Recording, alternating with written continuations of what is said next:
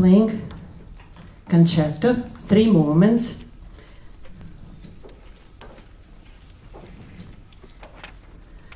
Here, you see, the, some preparations needed to be done because they are so young they cannot reach the pedals.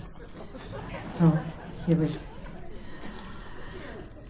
now, I want to mention about this uh, young soloist.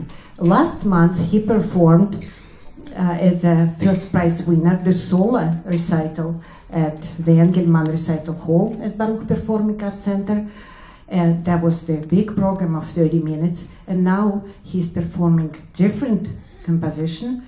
And this is piano concerto by Alec Rowley.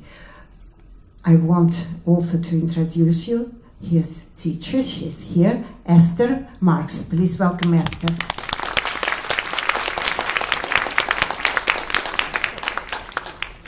And now, please welcome the soloist, Tom Liu.